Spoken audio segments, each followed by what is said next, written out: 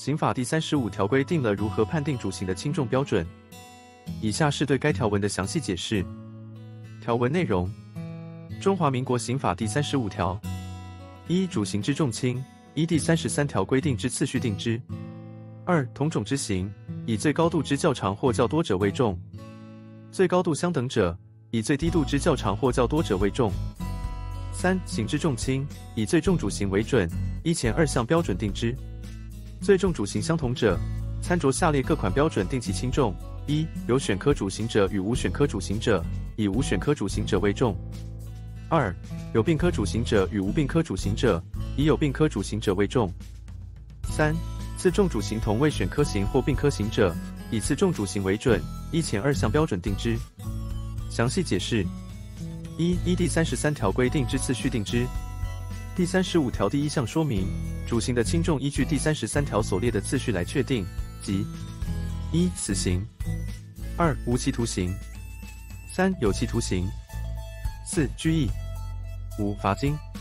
二、同种之刑的比较，如果是同一种类的刑罚，则根据刑罚的最高和最低度来决定轻重，最高度较长或较多者为重。例如，有期徒刑二十年比有期徒刑十年重。如果最高度相等，则比较最低度，最低度较长或较多者为重。例如，有期徒刑的最低度为六个月的刑罚比最低度为三个月的刑罚重。三、综合比较主刑的轻重，确定刑罚的轻重，首先以最重的主刑为准，依上述标准来决定。如果最重的主刑相同，则依据以下标准：一、选科主刑与无选科主刑。选科主刑只可以选择的主刑，例如罚金或徒刑；无选科主刑则没有选择余地。无选科主刑比选科主刑重。二、并科主刑与无并科主刑。并科主刑只可以合并科处的刑罚，例如同时判处罚金和徒刑；无并科主刑则只有单一的刑罚。有并科主刑比无并科主刑重。三、次重主刑的比较，如果最重的主刑相同，则看次重的主刑。自重主刑的轻重依前述标准来决定，即依最高和最低度的长短来比较。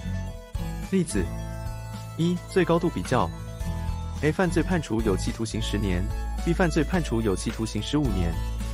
依据最高度，B 犯罪较重。二：最低度比较，A 犯罪有期徒刑范围为六个月至十年，B 犯罪有期徒刑范围为三个月至十年。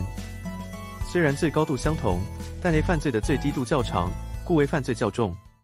三、选科与无选科，A 犯罪可以选择罚金或徒刑，B 犯罪无选择余地，直接判处徒刑，则 B 犯罪较重。